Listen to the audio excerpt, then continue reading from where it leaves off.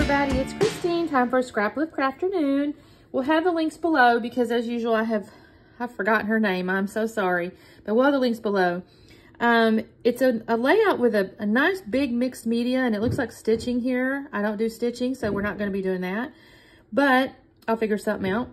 But then there's all these little tickets that go across here. And then she's got four little photos kind of nestled in with a big title. That's probably acrylic. I don't have any acrylic, so we'll figure something out there. And um, a couple little word phrases. There So maybe some little flair in here. So it's kind of neat. Sprouters and all kinds of stuff. And what I have is these pictures of my daughter. They're not horizontal, um, but I think I can, you know, make these kind of work or something. But it's her. We were in 2018 Colorado Springs at a lacrosse thing. And their coach had organized for them to go to, I think it was the Olympic something or other. And then they were, she, the little kickboxing or whatever. And then I have this die, there, it's tickets. You don't have to use this piece in the middle, it pops out. So it'll take me a few minutes though, y'all. So I'm gonna have to, I'm have to cut all these. I'll have to do that off camera. And then I have this blue ink, it's called Admiral. I looked at the red, but I got a little worried it's gonna look like blood. and she's got the boxing thing going on, so I thought that might not be wise. And then I picked up this um, Simple Stories America the Beautiful. But I do like the red and the blue and stuff like that. I, I wouldn't use probably the flags and whatnot, although it is at the Olympic Center. So I don't know, maybe. We'll have to see. And then I like this little font here. I got to figure out a title though, y'all. I got to figure out a title. So that's where we're starting. Let me get to cutting the tickets. That's going to take me longest, I think. And I'll come back on soon. All right, gang, this is kind of the tail end of my photo matting here. I just figured I'd show you what I did.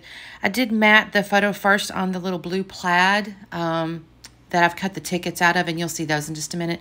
And then I went ahead and matted the second one on the red, like, floral-looking thing, um, which you'll also see in just a moment, because I have cut all my tickets out with my dies. They're just up at the top up there. You can't really see them just yet. So I'm just going to kind of sit here and honestly fast around these photos for just a second to kind of figure out, okay, how big a space are they taking up? And, you know, where do I need to put my inks? And if I'm honest, I'm looking at this thing right now. The photos don't end up exactly there. They're kind of in that general area, but that's not exactly where they end up. So these pencil marks were kind of a waste of time, but you know, it made me feel good. So we're going to just, just pretend it worked just out fine. So I'm going to tell y'all this blue, I was really scared because I don't always do good with my mixed media. But y'all, this turned out so good. I was so happy. So I used my craft mat and I squirted my blue on there. Um, and then I squirted a little bit of water. And I'm like, okay, all right. So I got my baggie and I'm like, okay, how can I make this work? And it went on. And look, y'all, it turned out really good. a lot of times when I try the packaging technique, I actually like squish it too much or do something. I end up way more, I don't know, like less distinct or something. I mean, I know the packaging technique's supposed to be, you know, with no real shape or anything like that, but I, like I said, I was just really pleased with this. Now, that all being said, I ended up definitely with a way bigger uh, shape than she had on her page. Um, really, basically, because my pictures are up and down. So it kind of had to be bigger just to have my pictures kind of fit.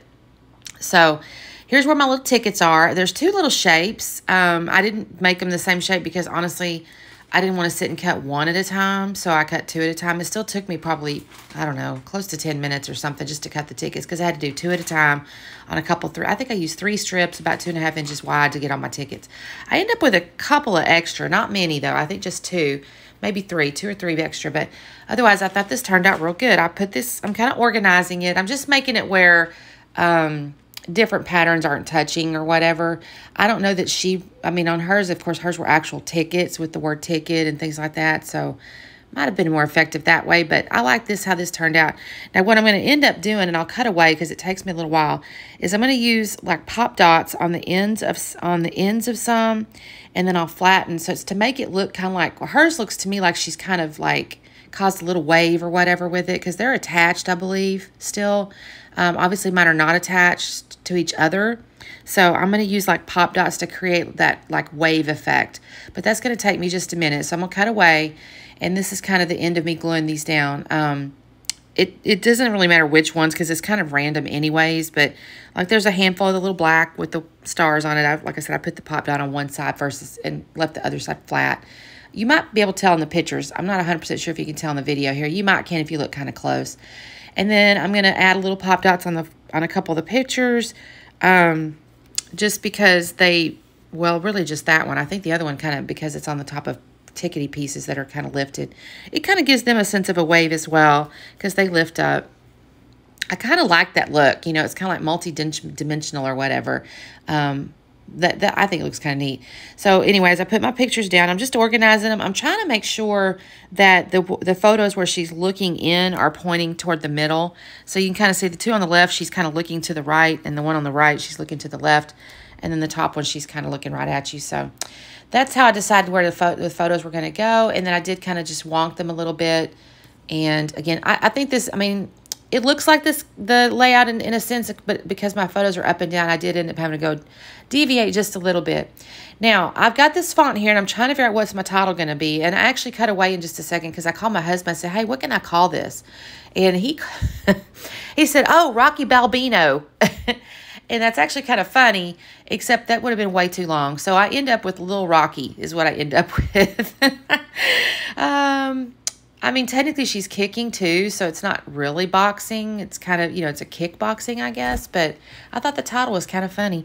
And then I'm going to glue these two little tickets at the bottom to kind of hold the title. She had her title kind of nestled in a bunch of the tickets, and I think this kind of works. Um, so yeah, I'm going to put Little Rocky down here. And then I, you can see I've got some enamel dots up there at the top. And I will pull out a couple of stickers um, off the sticker sheet there. Just a couple of florals. She had like a little flare and stuff. And I didn't, I don't have any flare. I need to probably pick some up actually. Um, I did get into my little uh, Tim Holtz Small Talk, the snarky one. And I found a line that said, in my defense, I was left unsupervised. Now, technically, there's a little old gentleman there supervising her, but, you know, still, it's kind of funny. And then the other one said, I'd like to announce I have no idea what I'm doing. I laughed when I read those because, um, yeah, she really didn't know what she was doing. he just had her hitting things. And she, my husband looked at the one picture where she's kicking the bag, and he goes, her form is terrible. Her hands should be in front of her face. I'm like, baby, it was just playing around. But anyways, um, so here's when I take these enamel dots. I'm going to use, I thought just to use the red originally, and I do end up using some of the little light blue. I don't know if I should have because there's not really any, well, I guess there's a little light blue on the black black tickets, but it's not the same shade. But I don't know. I think with this point, with all the blues going on and reds going on, it's totally fine. um, so I'm going to stick some of these little enamel dots around here.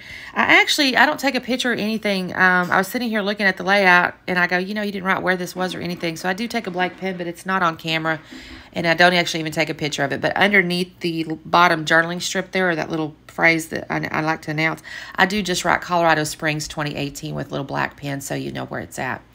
Um, I'm just checking out the layout here, making sure I'm not missing anything. Uh, you know, where do I kind of need to put these little enamel dots? And I put them in four places. I put in the upper left, uh, the lower right, or the, in kind of the middle right, I guess. And the lower left is floral, and then like by the title a little bit. And then after I do that, I thought, looked at this and I thought, okay, do I need any sprinkles or anything? I'm like, no, you don't need any sprinkles. You've got enough ink and everything going on here. I did have to use some Nuvo glue on my little snarky phrases right there because they were very, uh, they didn't have much adhesive going on, y'all. So I do have to use a little bit of Nuvo glue down there, but then that is all I'm going to do this layout. I think this turned out kind of neat. I'm not unhappy with it at all. And um, like I said, it's a little bigger than hers in the way of the shape and stuff, but I like it. I think it's cool. So there you go. There's the close-up. Take a look there. Don't forget to check out the playlist. We'll have her links below uh, and also the other ladies playing along. Every week kind of varies just because some people have to take off for life and that sort of thing. So you'll have to take out the playlist and the little list and all that good stuff. And don't forget to like and subscribe. And then you can check me out on Instagram at Scrapping Harden. And see you soon. Bye.